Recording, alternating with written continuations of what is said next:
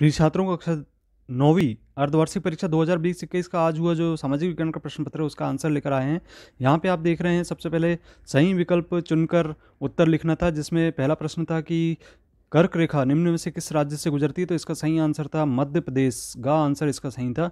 इसके बाद दूसरा प्रश्न था कि हिमालय पर्वत की सबसे ऊँची चोटी कौन सी है तो खा इसका सही आंसर है माउंट एवरेस्ट।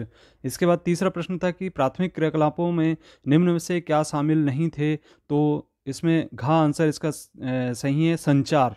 इसके बाद अगले प्रश्न थे विकल्प के रूप में। यहाँ आप देख रहे हैं स्क्रीन पर कि भारत का संविधान किस तिथि को लागू हुआ था? तो इसका सही आंसर था 26 जनवरी 1950 इसके बाद अगला प्रश्न था कि वाटर ब्लू में नेपोलियन की हार किस सन में हुई थी? तो इसका सही आंसर था 1815 इस प्रकार से ये विकल्प के सही आंसर देने थे आपको। रिक्त स्थानों की पूर्ति करना था, जिसमें रिक्त स्थानों की पूर्ति में आप देख रहे हैं यहाँ पर कि फ्रांसीसी क्रांति का प्रारंभ सन सत्रह नवासी में हुआ था।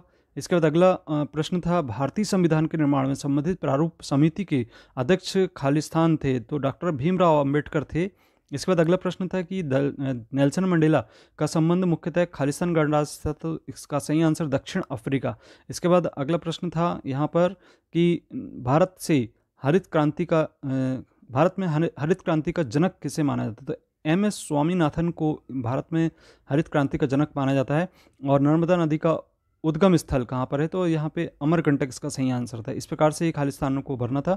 अगला प्रश्न था, सही जोड़ी बनाइए। तो सही जोड़ी बनाने के लिए आप देख रहे हैं यहाँ पे, सबसे पहले थी भ्रंश घाटी। तो भ्रंश घाटी का संबंध तापी से है और इसके बाद है तृतीय क्षेत्र। तृतीय क्षेत्र के सन व्यापार से संबंधित है ये।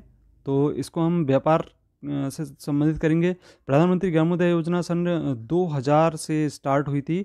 इसके बाद चौथा प्रश्न था प्रथम पंचवर्षीय योजना। तो ये इसका संबंध था प्रथम पंचवर्षीय योजना का उन्नीस सौ बावन से सत्तावन तक का और इसका पहला विश्व युद्ध प्रारंभ हुआ था तो इसका सही आंसर था 1914 इसके बाद एक शब्द में उत्तर देने वाले प्रश्न थे। आप देख रहे हैं यहाँ पे भारत का एकमात्र सक्रिय ज्वालामुखी किस द्वीप पर स्थित है? तो यहाँ पे इसका सही आंसर है बैरन द्वीप पर। इसके बाद ग्रामीण क्षेत्रों में मुख्यतः कौन सी बेरोजगारी पाई जाती है? तो इसका है सही आंसर शैक्षिक बेरोजगारी पाई जाती है। इसके बाद रंग भेद के खिलाफ संघर्ष किस देश में हुआ था? तो दक्षिण अफ्रीका में हुआ था।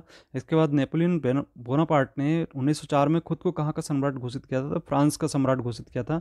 राष्ट्रीय मतदाता दिवस किस तिथि को मनाया जाता है? तो पच्चीस जनवरी को यह मनाया जाता है। इस प्रकार से ये आपके ऑप्शनल के रूप में क्वेश्चन थे। इसमें और भी दो अंक वाले प्रश्न पूछे गए थे, जिसके आंसर आपको बाद में पूरे वीडियो में ज़रूर मिलेंगे।